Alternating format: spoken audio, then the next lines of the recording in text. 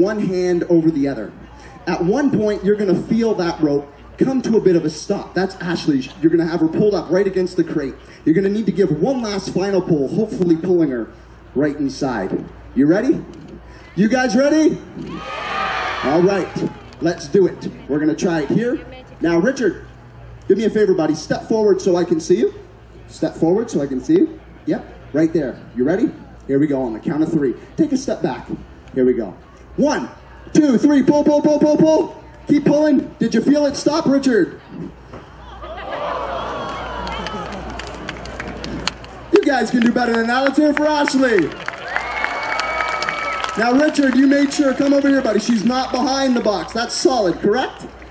Completely solid. There's only one way to get her out, and that is, of course, with the key. We're going to open it up here for me. Richard, you stay over there just for a second. We're going to open the crate like so.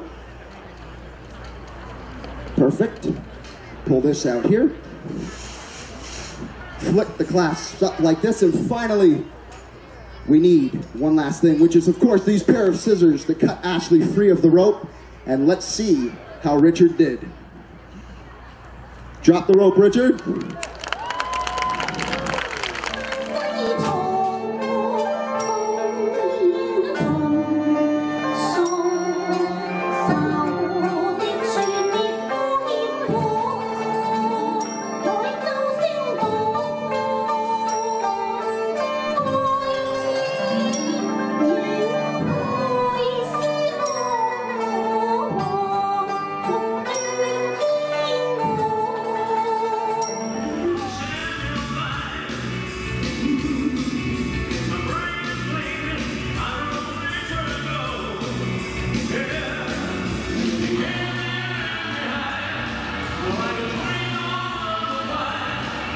Yeah.